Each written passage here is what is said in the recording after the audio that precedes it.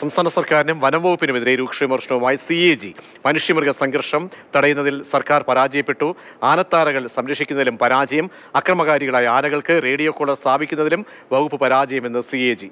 T S Harikrishna നൽകും ദുരങ്ങൾ Hari C A ജിക്ക് ഇങ്ങനെ ഒരു ഗുരുതരമായ ആരോപണങ്ങൾ ഉന്നയിക്കേണ്ടി വരുന്ന സാഹചര്യം എന്താണ്? സംഘർഷങ്ങൾ വർദ്ധിച്ചു വരുന്ന ഒരു സാഹചര്യം സംസ്ഥാനത്തുണ്ടായിരുന്നു. ഇതിന് പിന്നാലെ സി എ ജി ഇപ്പോൾ നിയമസഭയിൽ സമർപ്പിച്ചിരിക്കുന്ന റിപ്പോർട്ടിലാണ് വനംവകുപ്പിന് രൂക്ഷമായ വിമർശനമുള്ളത്.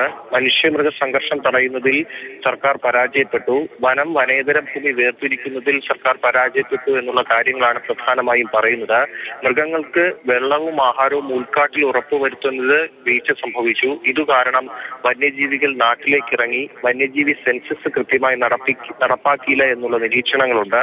വനഭൂമി വനേതര പ്രവർത്തനങ്ങൾക്ക് കൊടുക്കുകയും കെ സി ബി മറ്റ് പൊതുമേഖലാ സ്ഥാപനങ്ങൾ എന്നിവയ്ക്ക് വനഭൂമി നൽകുകയും ചെയ്തു.